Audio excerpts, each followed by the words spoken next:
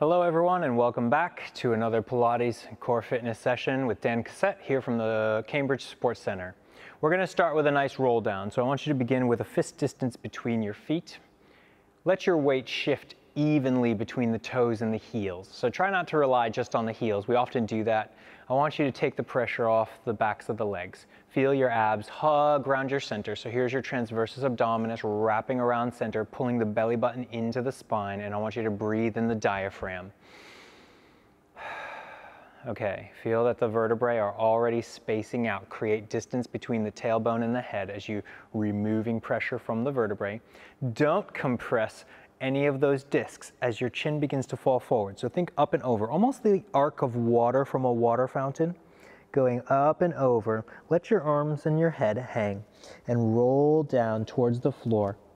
Just let yourself go upside down and your eyes should be able to see the wall behind you through your legs. Bend your knees, drop the tail down.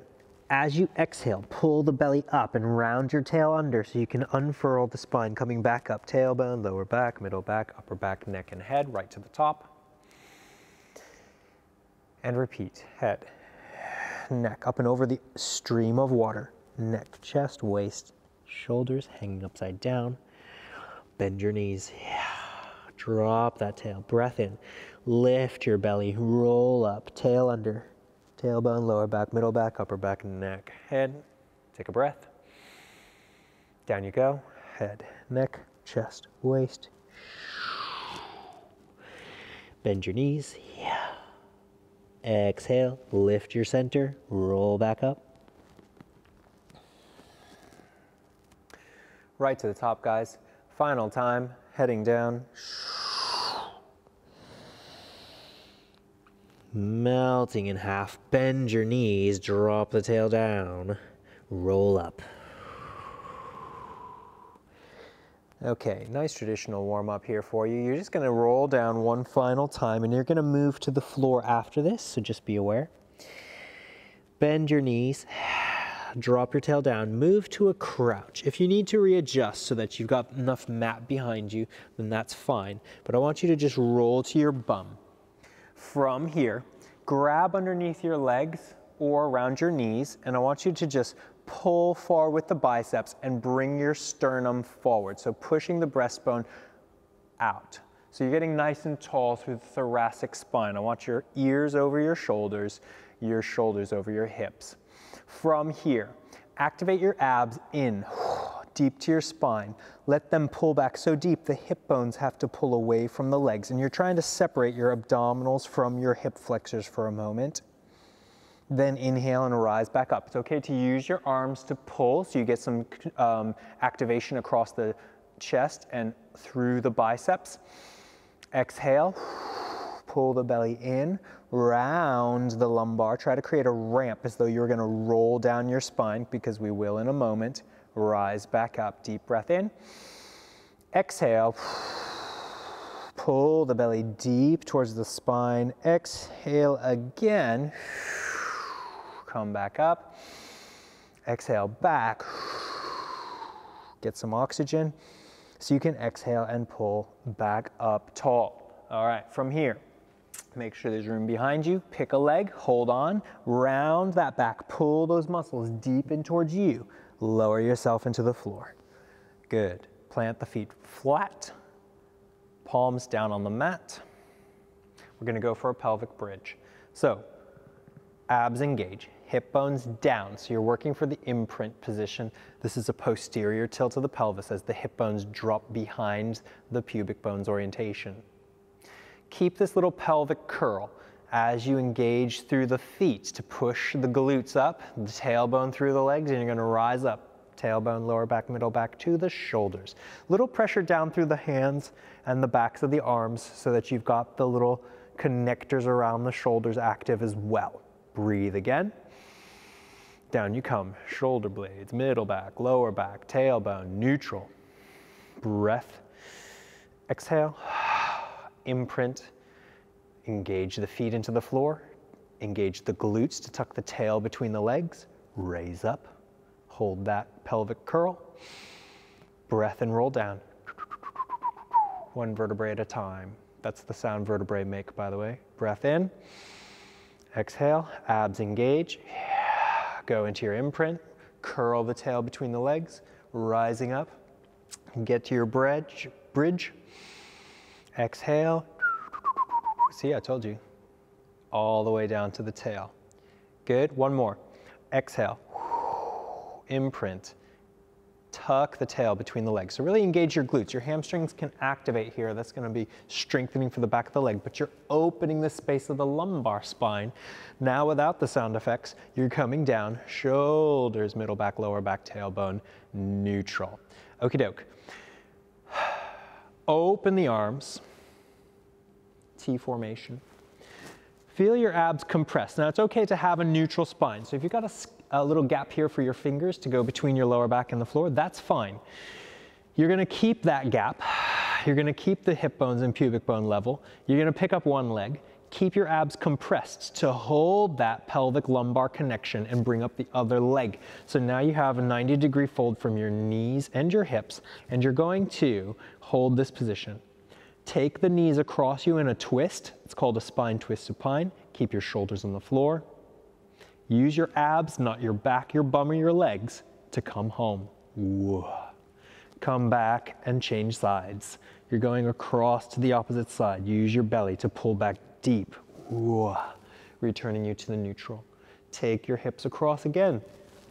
Really lift this opposite hip, the one that's in the air, so that the knees remain the same length. That's where you're gonna get the work as your core is holding your pelvis in a neutral alignment and you'll feel the weight of the legs really leaning over and your abs catching it and bringing it home. One more each side for me. Take it across, breathing deep, belly to spine, so your abs are doing the work, not your chest, not your back. All the way across, second side, and then return to neutral. Take one foot down, hold that neutral spine, other foot down, good hands laced together under the bulge of the skull. Not too narrow with your shoulder blades, so don't let the elbows fall flat. Not too closed, not too wide. So you should see your elbows in peripheral, but don't let them change. Press the abs flat and lift your chest. That's an exhale. You're gonna hold for a moment as you breathe and exhale down. Exhale to rise. Breathe. Exhale down. Exhale, rise. Breathe. Exhale down. Exhale, rise. Breathe. Exhale down. Exhale, rise. Breathe. Exhale down. Now then, again, rise. Hold. Keep your abs flat and firm, nice and strong. Keep those shoulders up. Don't lay them down even as you twist. Look your nose, uh, let your nose point past one quad and then center and point past the other quad. So you're not over rotating. I'm not gonna lie all the way down onto my ribs and my shoulder. I wanna just keep high and rotate and keep high and rotate. Should be plenty of work of a really simple movement. Twist, twist. Keep those abs pressing down and firm. Good. Come center and lie back. Nice. From here, guys, take your hands around and I want you to catch both of your knees. We'll do a really traditional setup for this whole thing. So I want you to start with your abs engaging firmly down, nice and flat across your center. Push your knees into your hands and hold on tight with your biceps engaged so that you bring up your chest. So it's like another chest lift, but you've got the help of your hands. Now you have to keep your chest at this level as you exhale and bring the legs in. Sorry, let's inhale as we stretch, exhale as we swim around and catch the knees. So let's do that. Inhale out, exhale round. Inhale out, exhale round. Out, round, out, round. Hold on for a moment, keep your chest up. Now let yourself back into the floor, a little rest.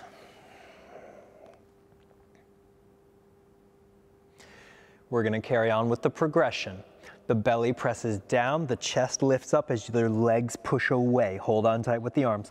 Keep your chest here as you hold onto one knee and stretch out the legs. If you can, keep the toes in line with each other. So that's gonna be your, um, your measure.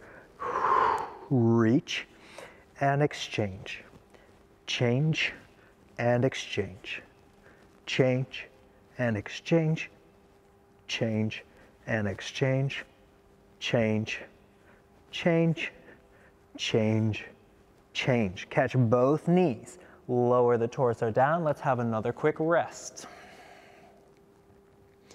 Good, we're gonna focus down the abs early in class, and then we'll work our lateral rotation, some bridging, and some flexion of the lats. And then we'll do some back extension. So we got lots to do today. Let's set back up once again. Press the abs down, lift the chest up from here.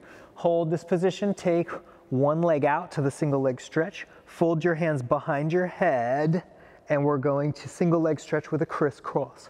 One, two, three, four, five, six, seven, eight, two, two, three, four, five, six, seven, eight. Catch those knees. Hold on to the legs or hold on to one leg, stretch the other leg up and use your leg weight to help roll you up to seated. Good. Bring the feet close to you. You can go back to doing pelvic bridge if you need to, if you've got any disc issues, but if you're okay to roll on your back, we're gonna do rolling like a ball.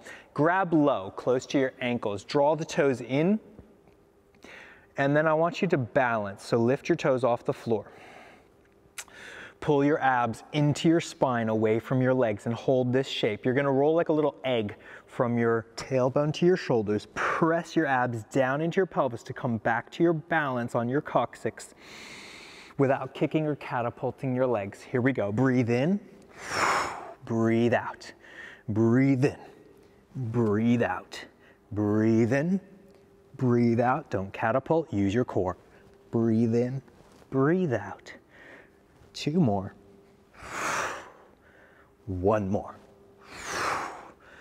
Good. From here, we're gonna uh, expand the activity. Hold on to your ankles bring them up to parallel with the earth. So you got a nice uh, bent leg position here. You can do the exact same activity here. This is called an open leg rocker.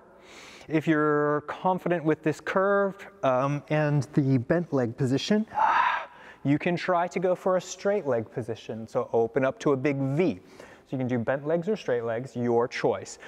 Round your lumbar to create a light, nice ramp or rolling surface push the belly down. And when you come up, try to lift that chest, lift that breastbone. Curve the lumbar, roll to the shoulders. Inhale, lift your chest. Like a little sniff at the top. Here we go, rolling back. Exhale, lift, and down and back.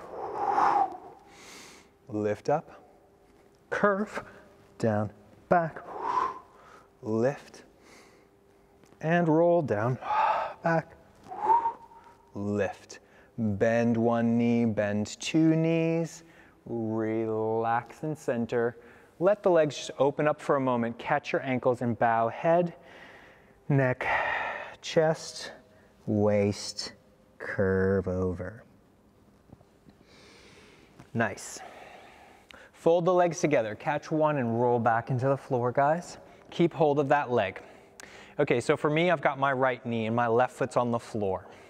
I'm gonna stretch that leg into the sky and put my hands down on the floor, flexing the foot so I'm standing on the ceiling. I'm gonna push down with my long leg in my hands, bring the air, leg in the air across, down and around, and I don't want my hips to swivel or wobble. Another circle, another circle, another circle. So it's really about core control. I wanna keep my hips still while I'm working here. I'm going to change my circle going in the other direction. And the same rules apply. Now bend. put it down, rest a moment, and we're gonna change. Bring up your opposite knee. For me, it's my left. Leg into the sky, foot flexed, bring it across center. Now engage your abs down. I want nice controlled pelvic lumbar region. The hip bones are not gonna move. The spine is not gonna move. Big swoop, big swoop, big swoop. I say big, but it can be medium or small if your hip bone needs it to be a little smaller. So just be gentle on the joint. Change your direction, go out and around. Keep your pelvis steady. Keep your legs and arms gently pressed into the floor for support to help your abs keep your trunk neutral. Bend. Put it down. Little shake, little rest. Roll onto your side towards me. Lie down on that bicep. Lengthen this top hip away from your ribs, create a little gap here. Float your feet off the floor about two or three inches. Now we're gonna press that gap closed with our obliques, our side muscle. Press, and that's gonna lift the legs. Lower, press, lower, press, lower, press, lower, press, lower, press, lower, press, lower, press, and lower. Keep your abs firm. You almost want to think of a posterior tilt. So the hip bones are trying to draw backwards and the pubic bone is trying to come forward towards your nose. Your abs are scooping in to hold it all firm. Lift the top leg to hip height. Take it behind you as though there was a wall. You want to tap the wall with your heel. And don't roll backwards in the hip alignment. But like there was pencil marks on the wall, you're gonna rub it out with your heel. Go up, down, up, down. You're targeting the glute medius right behind the hip bone, right behind the iliac crest. So you should feel it in the top of the glute. But keep the abs engaged so that you don't start to compensate with the back. Good. Now swing it forward, up, down. Forward, up, down, return. Forward, up, down. And again, don't rock and roll in the hips. So it's not gonna be the biggest forward leg swing you've ever done in your life. Keep your pelvis steady and still working that glute medius. You should feel the burn. Forward, lift, stay, drop, drop, drop, drop, drop, drop, drop, drop. Keep the belly lifted. Don't let the hip bone roll forward. And that's good. Swing home, put it down, rest. Bend those knees, come on up to your side. From here, hand on the floor, take the top foot into the crook of the ankle here and the bottom foot. Engage the lat to support. Lift up to your knees, push up to a T formation if you can, and then arc your hips into the sky. Lower to the T formation, bend your knees and lower the hip to tap. Stretch to the T, arc it up. Down to the T, tap the hip. Lift, arch, lower, tap.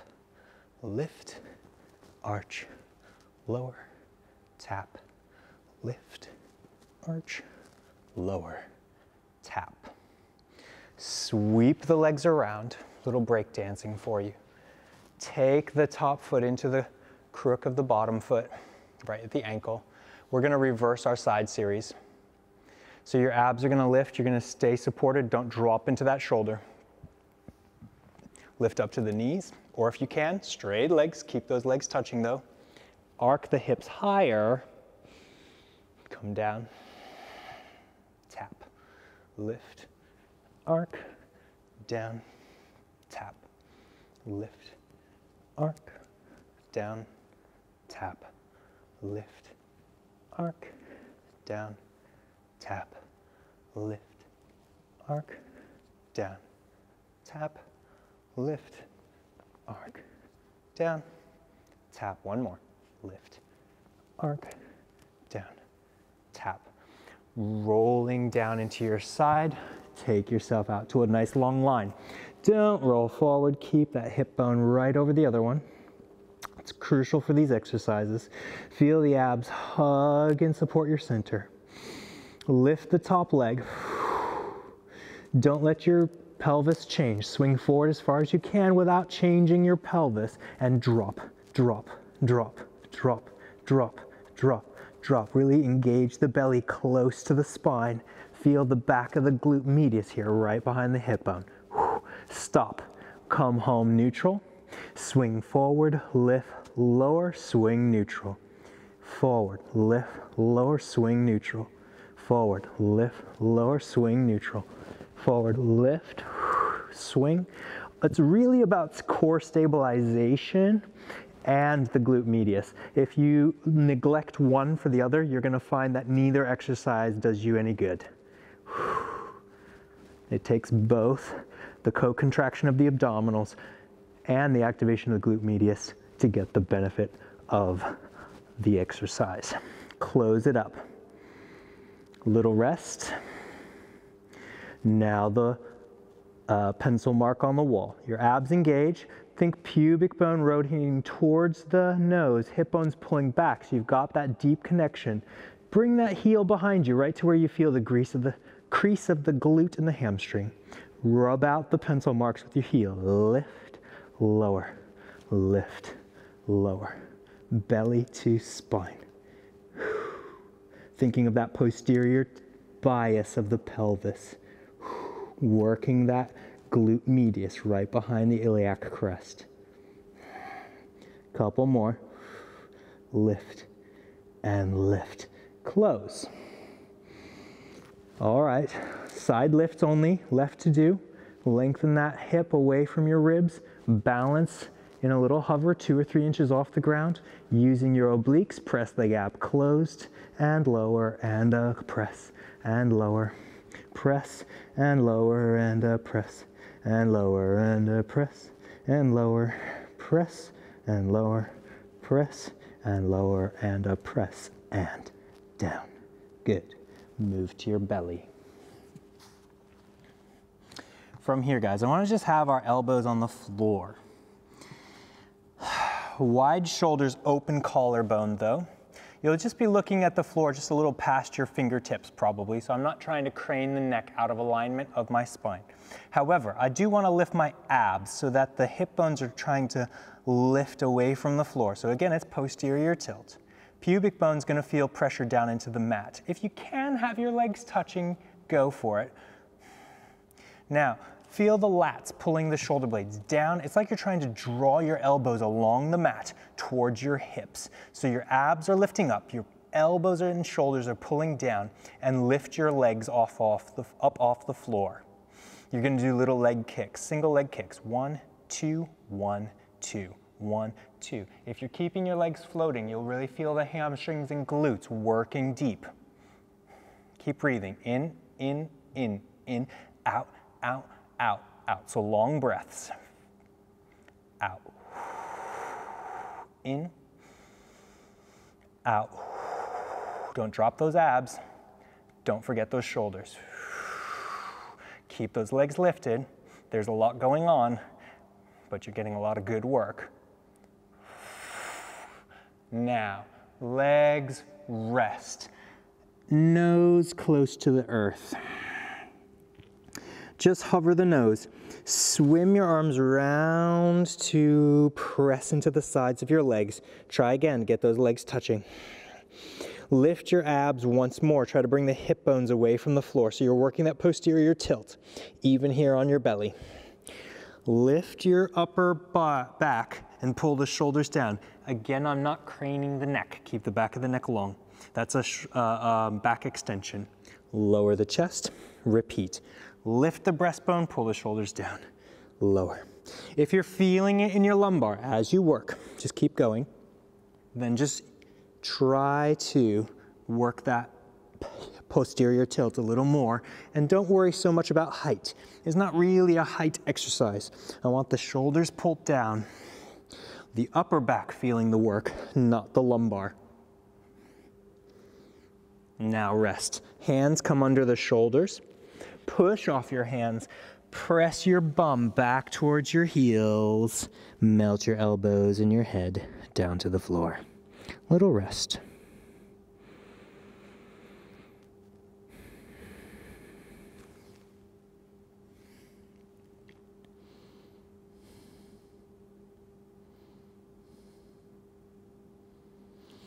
One more back extension exercise. Move your body down to the floor once more. Turn your face towards me. Lace your fingers behind your back and let your elbows drop to the floor, legs together same as always. Now, find that abdominal lift and that posterior tilt. You're gonna lift your legs off the floor. You're gonna pump your heels to your bum. One, two, three. Slide your hands down your bum, lift your chest, and lengthen like a human torpedo. Change your face to the other side, bring your hands to your back, elbows down, pump. Two, three. Extend like a torpedo.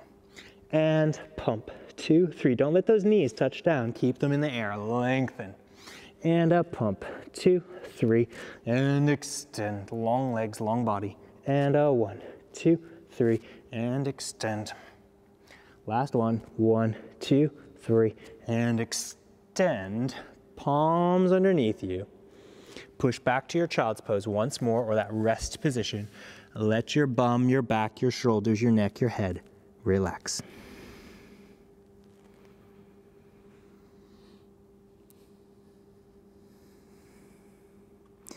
Come up to all fours.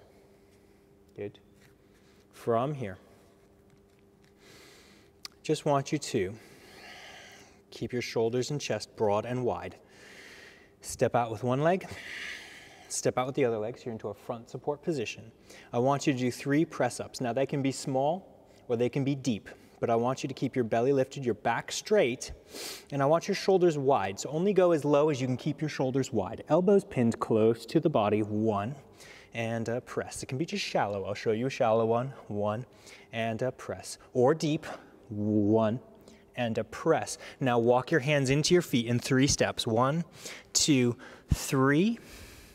Roll up to standing and breathe as you come. So you get lots of oxygen into the brain.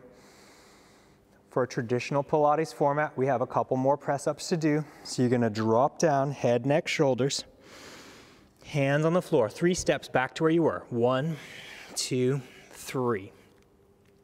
Get all the way to that forward front support position, and here we go. One, and a press, wide shoulders. Two, and a press. Three, and a press. Walk your hands in. One, two, three. Roll up. You can do that with bent legs if you need to. Get that oxygen in the brain, don't pass out. Down you go. Final set. Walking out with your hands. One, two, three. Here we go. Shallow is fine. You don't have to impress me with a deep low bend. Just do as much as you can. If that means just unlock the elbows and straighten the elbows, unlock and straighten, then that's good. Press back, tail into the sky. One, two, three. You can bend your knees if you need to. I'll show that variation. Roll up, right to the top. Once you're in the top, guys, just hover there for a moment. I'll turn to face you feet in neutral, weight shared from the balls of the feet to the heels, so nice even distribution. Take two more deep breaths and let that collarbone and chest open up. Let the shoulders settle in the back. Keep the belly lifted, no pinching in the lumbar. One more breath. And thank you very much. Guys, that's another class from us.